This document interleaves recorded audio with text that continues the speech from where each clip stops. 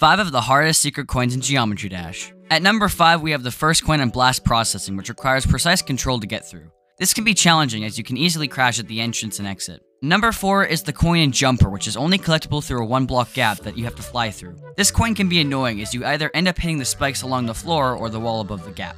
Number 3 is the third coin in Finger Dash. This requires precise mini-wave skills as you need to collect 10 mini coins in order to obtain it. This can become really annoying as you can easily miss a coin or crash trying to do so.